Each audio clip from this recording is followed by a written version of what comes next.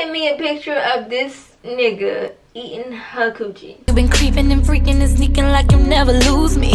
Steady claiming that everyone know we together, but you steady choosing. Swear I cannot win for losing. I've been out here being faithful. I always got this on lockdown, but that ain't been keeping us stable. So I guess I know what I gotta do. Hey y'all, thank you so much for watching Miss Angelique TV, where we talk about everything and when I mean everything, I mean like back for another story time. This next story time, as you can see by the title, is about the time I caught my ex eating coochie, okay? Before I get into the video, don't forget to hit that subscribe button below because you don't want to miss how I caught him eating coochie and then what I did in return and then what he did and retaliation. I got a lot of stuff to talk about, okay? If you missed my other story times, you might want to go back really quick because a lot of this stuff that I'm getting ready to say you might not really understand it because you didn't go to my last one or the one before that or the one before that. I got basically a whole series about this nigga called Ghost. That's his character name. So let's begin. So my last story time I was um, talking about how, you know, I caught him talking to other bitches and stuff like that and he apologized and stuff. I stayed because I was stupid obviously i've already made that very very clear i didn't want to be alone and also i just was so hard-headed that i felt like the things that we were dealing with just wasn't enough for me to not want to be with him yet. After he like gave me his social media passwords and stuff like that from the last time which i talked about in my previous video of me catching him texting different females talking to people on twitter and stuff like that after that i thought okay maybe he gonna do right because i mean he gave me his passwords. Even though i'm not using it i obviously know he's not doing anything because he know that at any time i can access his instagram or twitter. Right. One day i realized he was doing this whole being in his, in his phone constantly texting like long paragraphs and stuff like that. And once again wasn't saying anything to me about it. He seemed really really agitated but like i knew it didn't have anything to do with me because i was just sitting on the couch chilling. Um, I noticed he also had a password on his phone. Mind y'all, the last time I caught him talking to bitches, he didn't have a password on his phone.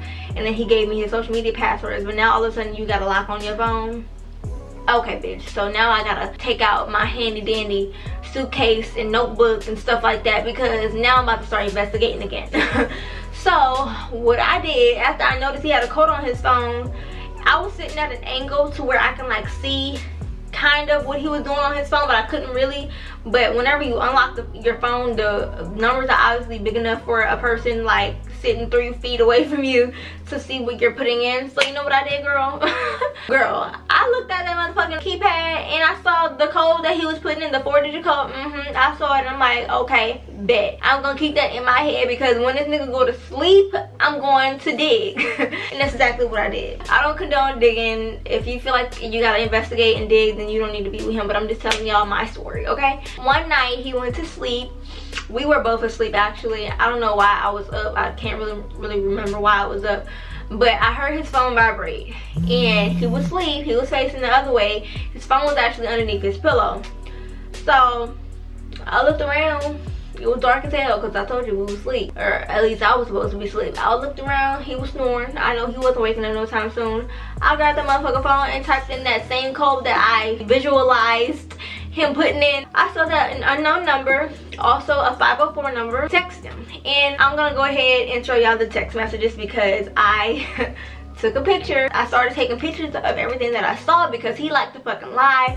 He liked to delete stuff and make like it never fucking happened if i ain't got no proof of it. So i started getting my gathering my proof baby because you ain't gonna look me in my eyes and tell me i'm a liar when i know what i saw. I took a picture on my phone of what i saw and so let me show y'all what I saw.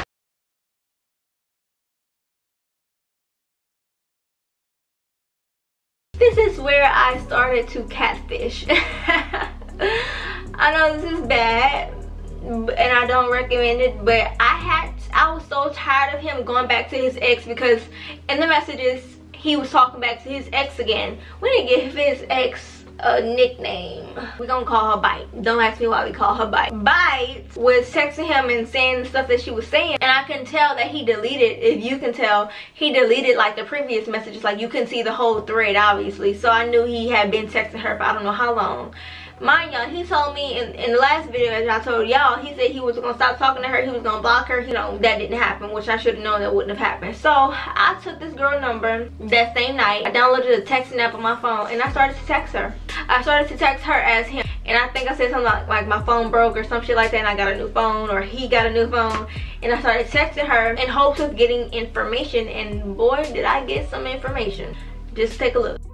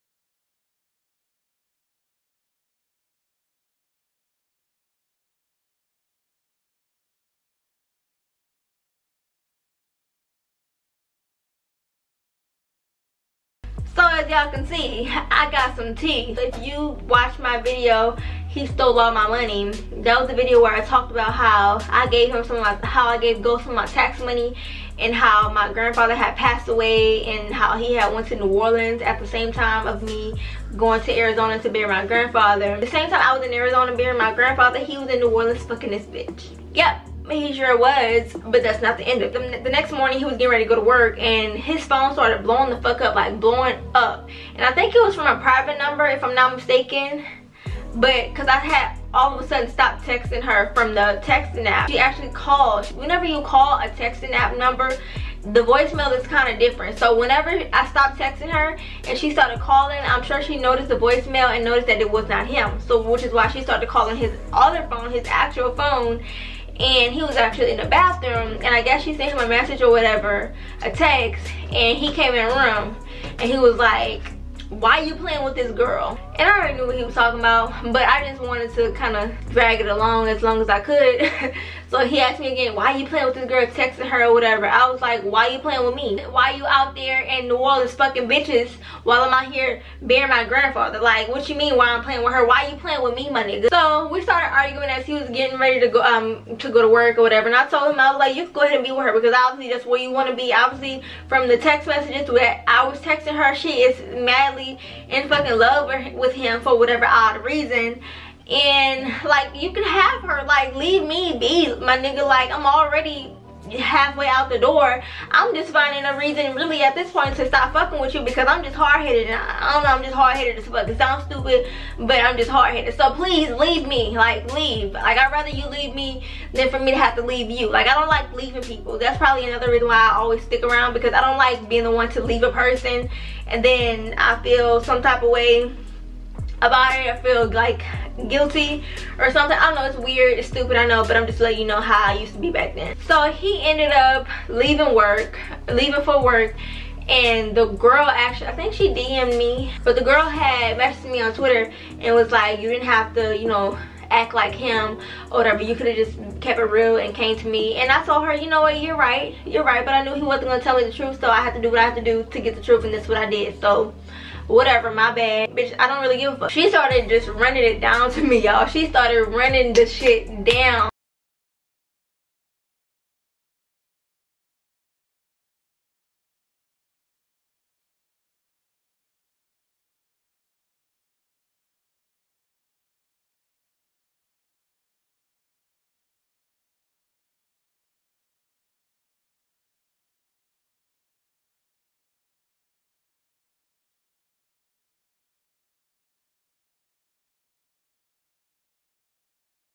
sent me a picture of this nigga eating her coochie.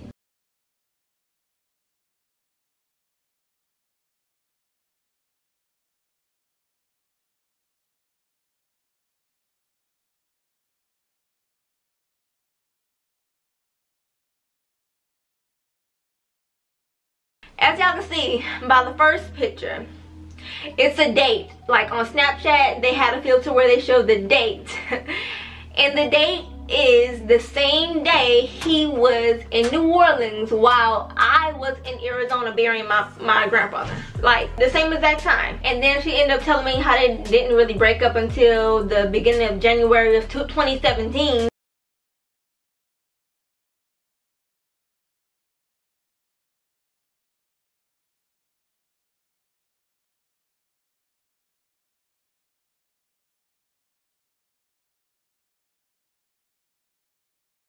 I had been with him since the previous September.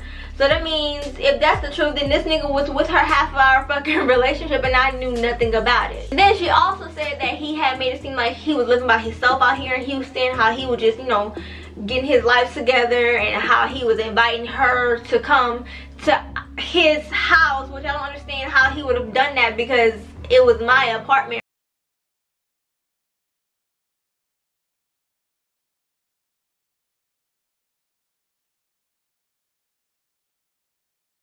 she also sent me the picture where it shows like the date and the location and the location was the same city or the same area that his mom lived in.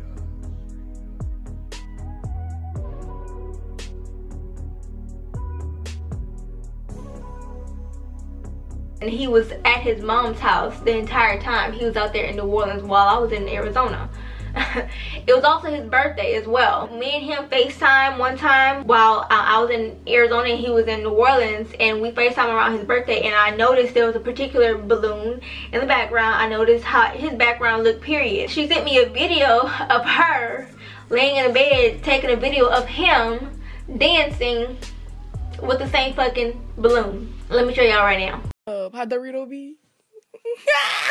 Do it, babe. Do it, babe. Do it for the snap. Ooh. So not only was he fucking this girl, but he was actually fucking her in the same house as his mother in which I thought me and his mama was cool. Come to find out later down the line, his mama didn't know that um, the girl was at his at her house because she actually didn't like the girl because of all of the legal stuff that he'd been going through with her she didn't really care for the girl anymore but that's neither here nor there. I ended up texting him and i was like did you fuck her? I had asked him something. Um, maybe i can pull a proof up pull the text messages up. If i can i'm gonna put it in right now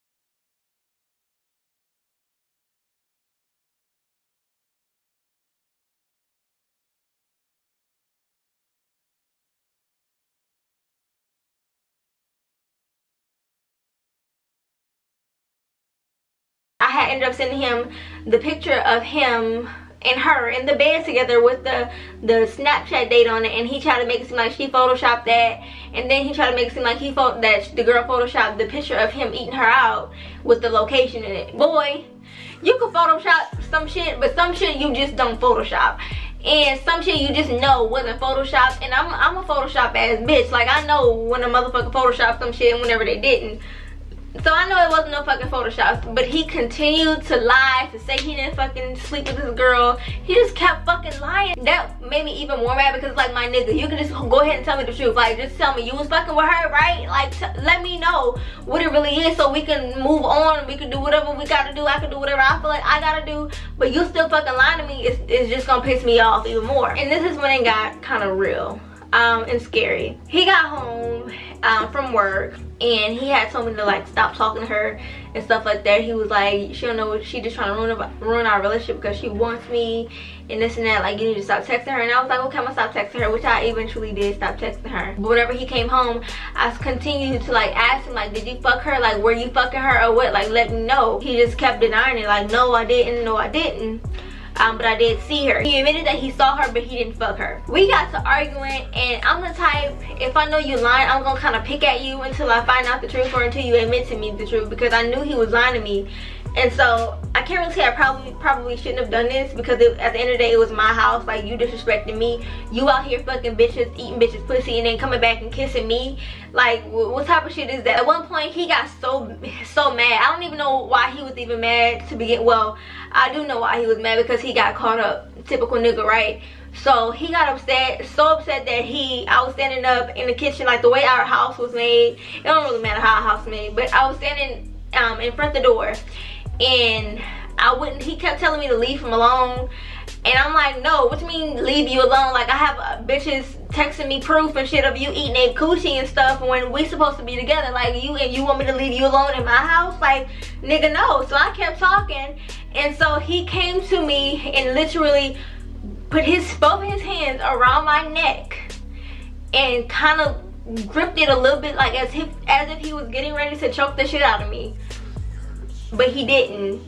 And he said please don't make me do this. And at this point like he put his hands on me before obviously because I've talked about it in previous videos but he never put me in a fucking choke lock whatever you want to call it as if he was getting ready to choke me. I really became afraid at this point and so I just I just stopped. Like I stopped talking about whatever I was talking about.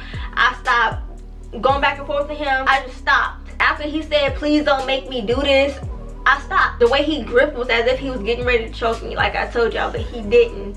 And after I stopped, he let me go and that was the end of that. A few minutes later, he ended up talking back to me about the same shit that he told me to leave him alone about. And so I asked him again, I said, just tell me, did you fuck her? Did you, like, what, what really was it? Because, I mean, this, this is not a lie. This is not Photoshop. So he finally admits, after getting so upset, getting damn near choke me because of something that he was lying about.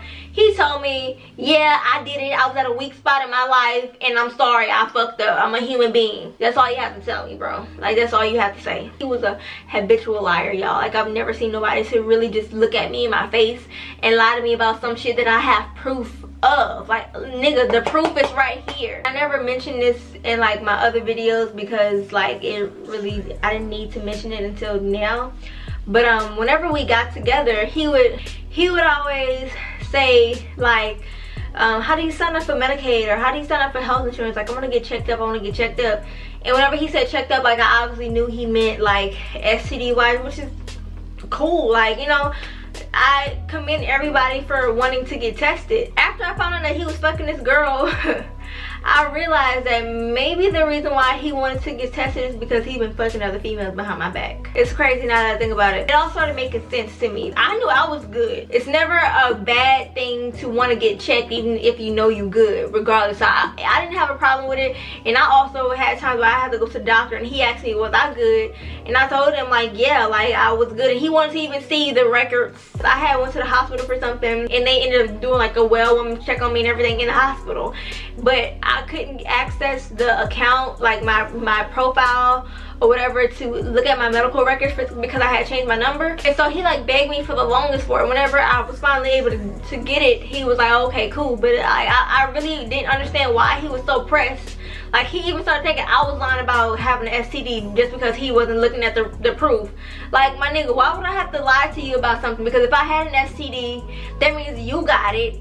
And if I get get it cured without telling you and I'm still fucking you, that means I'm gonna get it again. So that doesn't even make sense. I mean, I guess I can say I forgave him for it. let me just keep it real. But it's, it's kind of more of like i brushed the situation under the rug. Um, I and he told me once again I'm gonna block her I'm gonna stop talking to her and she just want to break out break up our relationship and stuff. He was just like I made a mistake. I'm sorry. Yeah I cheated on you. I'm just so sorry. And all this other type of stuff. Two days later or so i ended up making us an appointment because he actually was on my health insurance y'all like a dumbass. I put him on my health insurance so we both had insurance. And i had made us both appointments to go get treated for everything. Like we were tested for everything front back top bottom. It came back clear thank god. In the beginning i wasn't that nervous because i, I you know i knew i was okay because i had got checked up before i even got with him and stuff like that. But whenever i found out that he actually was cheating on me then i started to get afraid because i knew how pressed he was about checkup and stuff like this. And i wasn't even that pressed about it because i knew i was okay. But whenever i started finding out he was fucking people and nine times out of ten he was fucking other people that i just didn't know about. But i know for a fact that he was fucking his ex. And there was a lot of times where he would go to the gym and go do this with his partners and stuff like that.